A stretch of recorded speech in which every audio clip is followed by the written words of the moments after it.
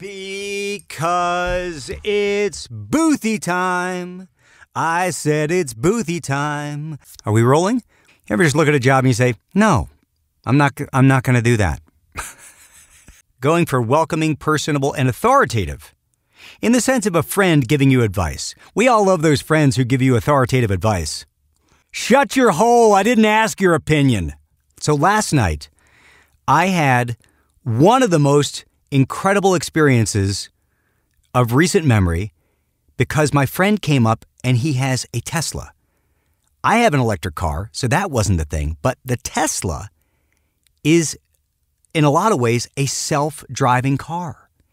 And I know that self driving cars exist. I know they're coming soon. I know they're going to be all over the roads, but I've never been in one. And he put me behind the wheel of it on a highway going 60 miles an hour. You see brake lights ahead. Is it going to stop? Is it going to stop? Is it going to stop?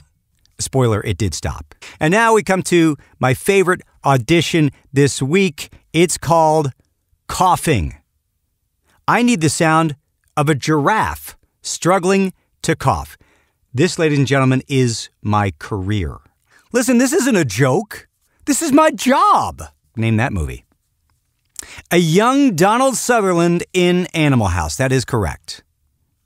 Where you see Donald Sutherland's bare bottom later in the movie. Who is Donald Sutherland given a business to in Animal House? That is correct. It's Karen Allen.